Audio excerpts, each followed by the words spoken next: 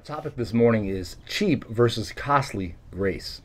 Now, we've been looking at Dietrich Bonhoeffer's book, The Cost of Discipleship. as kind of a guide through these topics. But let me start off with a parable from Matthew 13. This is a parable that Bonhoeffer uses in uh, his reading today. Matthew 13, 44. The kingdom of heaven is like a treasure hidden in a field. When a man found it, he hid it again, and then in his joy went and sold all he had and bought the field. Now, the point of this parable is simple. When someone finds the truth, when someone finds the kingdom of God, they will do whatever it takes to enter it.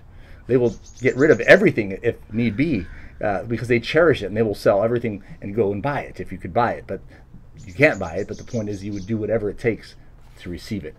Now, Bonhoeffer compares for us cheap versus costly grace today. He says this cheap grace is the preaching of forgiveness without requiring repentance baptism without church discipline, communion without confession, absolution without personal confession.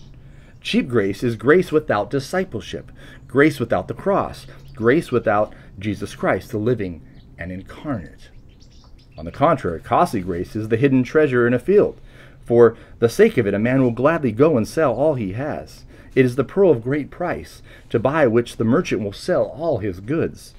It is the kingly rule of Christ, for whose sake a man will pluck out the eye which causes him to stumble. It is the call of Jesus Christ at which the disciple leaves his nets and follows him. If you're watching this, you are probably one that has left your net and following Jesus Christ. Uh, uh, non believers or people that aren't walking strong usually don't take the time to watch morning devotionals. But I want to encourage us in this, right? Not only for ourselves, but for others.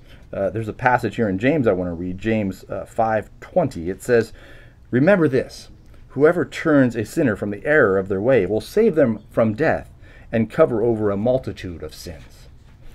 He uses that reference in there of baptism without church discipline, right? Um, and ultimately, that they want cheap grace is grace without discipleship. So discipline is really just an aspect of discipleship. So uh, not discipline's not bad, right? Being disciplined towards something good is part of discipleship, but also correction of something bad. That's part of discipleship. And that's when we're baptized into the church, we're marked by baptism to a body. To the church universal, yes, but usually usually there's a local body that we're uh, committed to. And those people are called to use their gifts to benefit you and for you to use your gifts to benefit them. And one way we all mutually benefit each other is when we point out the Word of God to each other to help us grow and be sanctified. The Word of God is what sanctifies us. The power of the Spirit through the reading of the Word or hearing of the Word uh, stirs our hearts and we grow more and more in God's grace. So there might be a passage you read yourself that you come across and that convicts you and that sanctifies you as you start to apply it to your life. But another way is someone comes to you with a passage and says, Hey, brother or sister, um, let me share this verse with you. I think it would be helpful.